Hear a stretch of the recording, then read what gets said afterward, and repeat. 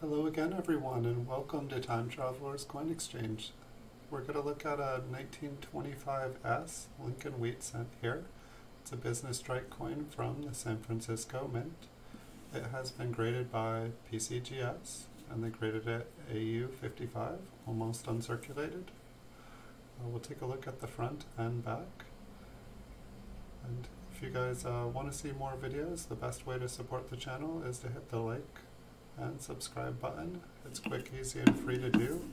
And it lets me know you guys are enjoying the videos, and it's worth making thousands more for you guys. We got to about 3,000 coin videos last month, and so pretty excited about that.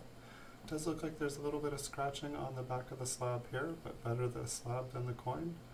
If you guys ever want to check out a coin that I'm selling, um, you can always follow the link in the description below the video. It takes you to eBay to a listing of the coin that you guys see in the video. Time Traveler's Coin Exchange here, we're trying to make it a little bit easier to buy coin sight unseen because, you know, if you just see that as a picture, um, it's good to see, you know, the different details and how the light hits the coin. But thank you everyone for watching. I'll be back soon with some more coins. Have a good night and see you guys in the future.